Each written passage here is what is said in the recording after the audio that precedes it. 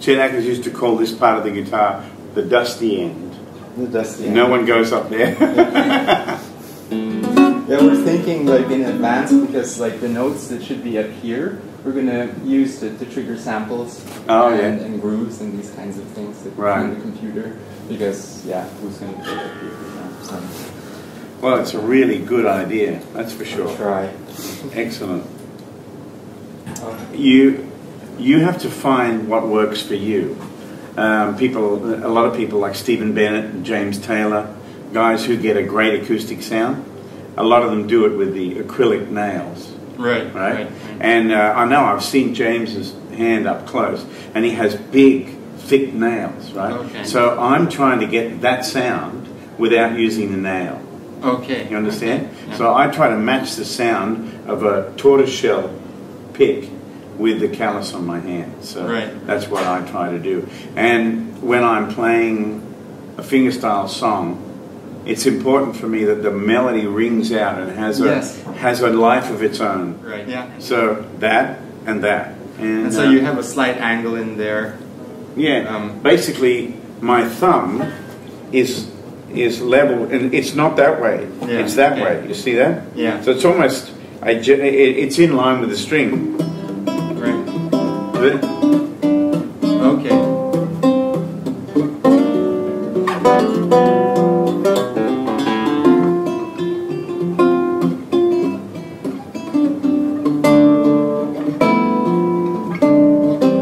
That's a, a little bit of Chet Atkins' arrangement of um, Bye Bye Blackbird.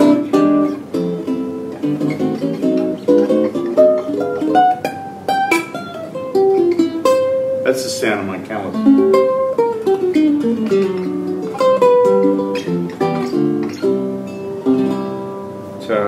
Don't know, Yeah. And I and I can't play. You know the.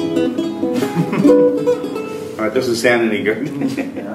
but unfortunately, um, uh, uh, you know, the way things are going in, in music, people are focusing on all the wrong things, and that's where the problem lies. People are focusing on fame and fortune, and that will get you nowhere. What you need to be focusing on is getting good. That's what you need to focus on. And, and, and when that happens, everything you need will, will, will come to you. But you've got to stay true to your, your, your gift and not focus on the wrong things.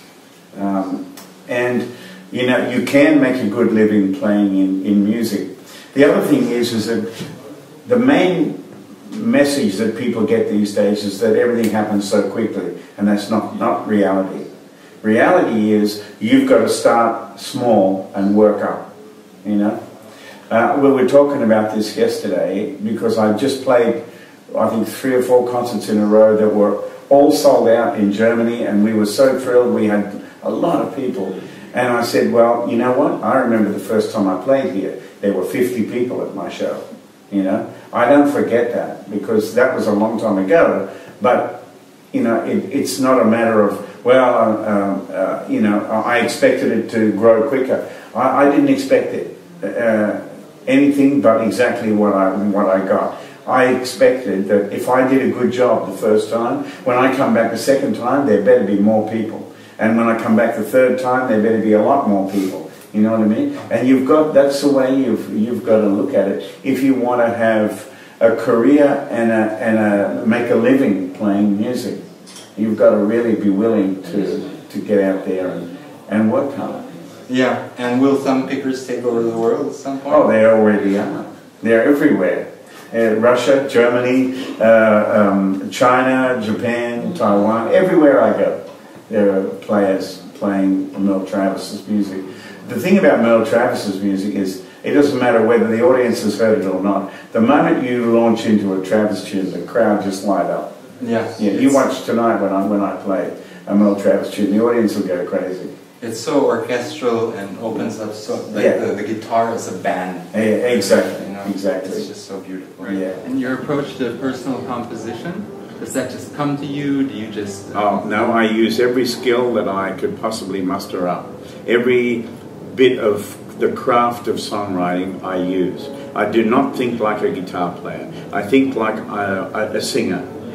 When I'm when I'm composing a song, I try to think like a singer and a band and the whole thing. I try to visualize the the whole song. Um, and I don't let my hands and my my instrument dictate to, to me. I try to get out of it what I want. You know okay. what I mean? I try to be the driver of the ship. Right. Um, and it's all about the melody and the groove of the of the song and what it's saying to you. You know, like you know uh, a song like uh, uh, Ruby's Eyes. oh, that's the, that's so so. It yeah. reminds me of Moonraker. That's where it came from. That that that yeah, that's those right. two chords. We're on. Right, and then there's like an F, F sharp minor or something. Well, I saw Moonraker and heard that chord, oh, That's and because of that chord, I wrote Ruby's Eye. That really? That's right. Okay. Yeah. So. Okay.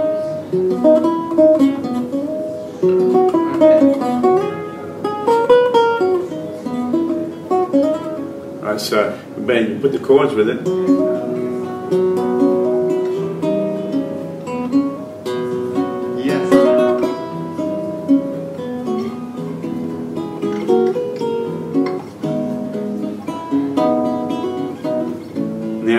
Telling us something. Yes. You know what I mean? And that therein lies the magic of, of, of songwriting is when the when you get the melody with the right chords and vice versa, it's it's it's magical.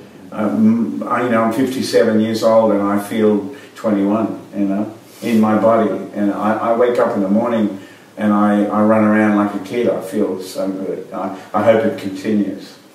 Yeah.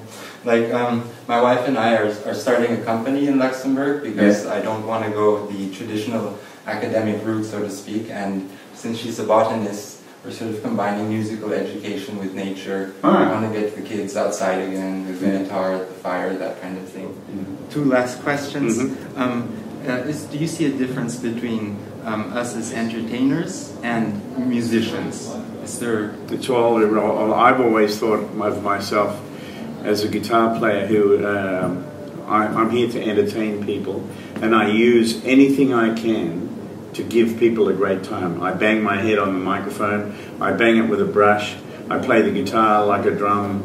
Um, I try to write songs that sound like you can almost hear the words in your head. And sometimes and, something like that yeah. will make us weep, actually. Yeah. And, that's and that's all part of, of a moving experience. So when you go to the stage, remember you're in the entertainment business, and people need, people need to be touched and moved and and uh, you know. And so uh, another question that came up also was, um, do you have any guitar-related injuries? I mean, you, play so often, mm-hmm. and you you um, seem to be driving yourself with such dedication that the question was, yeah.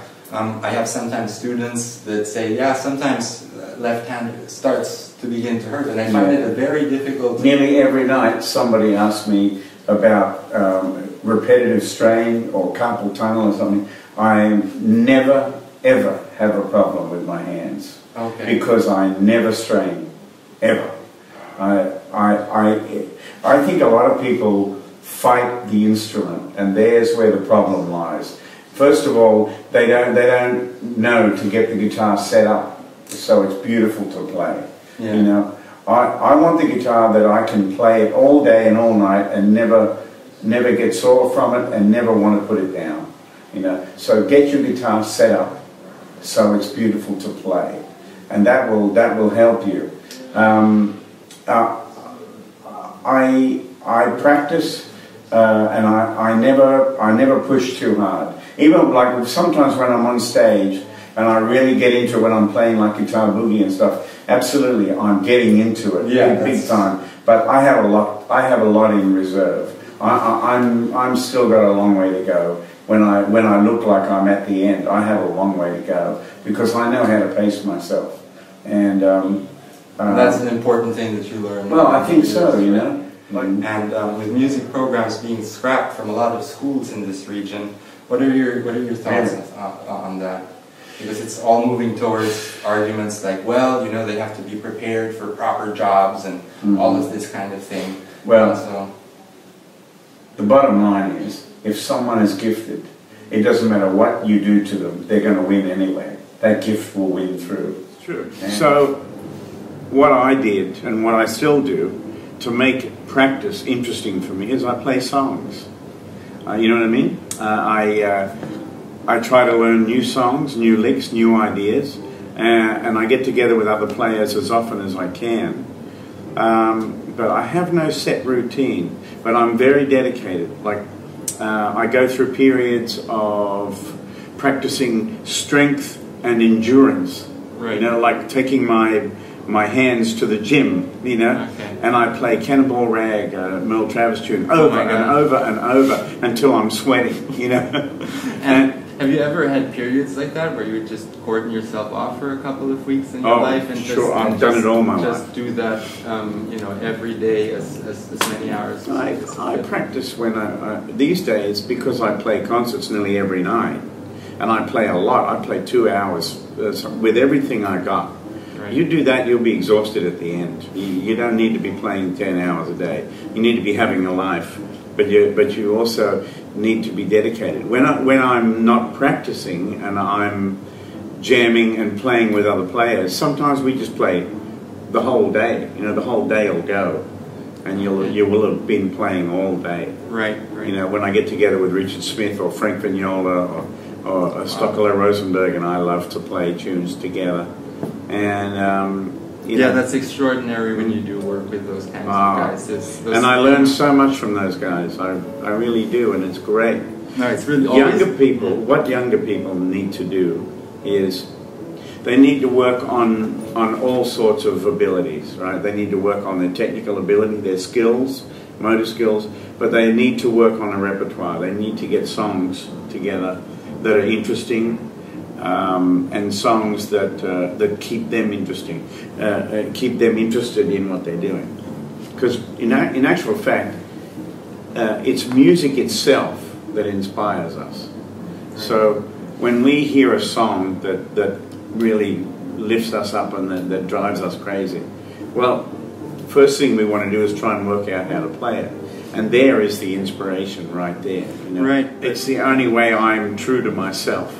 Be- Because I can't be anything else but what I, what, what, who I truly am when I walk on stage. And if I'm in a, I- if I'm in a funny mood, I'll, I'll be funny all night.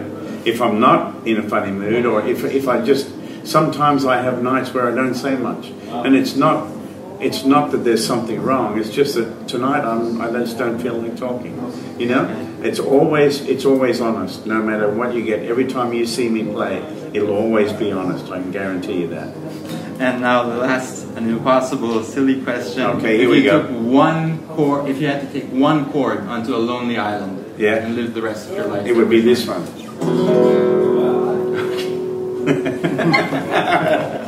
Thank you very Yeah, much. the, the lost chord on the lonely island.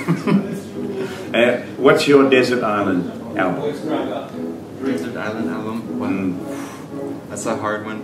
Oh, oh, Moon River. Yeah, Moon River. Oh, I love that that song. really went so deep. You did something completely else. You brought the cowboy back into that song. That was so, that was so beautiful.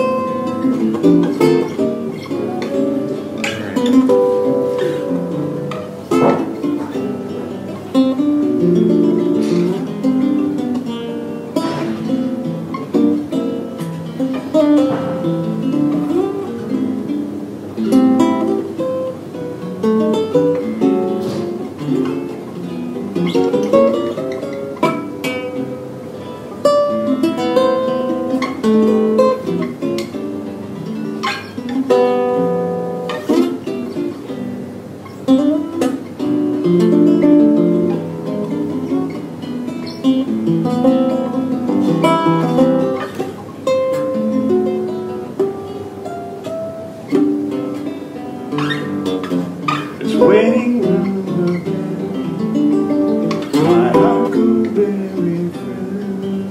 Moon River. It's beautiful. Henry Mancini. And the, the har- use of the harmonics in there was Ah, just, um, Well, the version on the version there's two versions on uh, Little by Little album, and the the one I did with Rick Price, the singer, that was that was my Gretsch Synchromatic F-hole jazz guitar, just with a mic on it. And the other one with uh, Victor Wooten playing bass and everything, that was a, uh, a, a, beautiful guitar uh, made by a brilliant uh, guitar builder, Wayne Henderson. And, uh, and I had big strings on that guitar and tuned it down a tone. So when I play in C, I'm actually uh, in um, B flat. Yeah, so it sounds d- deeper and lower. But we, we were just messing around with it, and I said, "Come and take a song by Victor," and Yeah. and then we ended up, re, you know, pushing the red button, and well, we got it first take. Yeah. Thanks so much. You're welcome, brother. Okay, thanks so lot.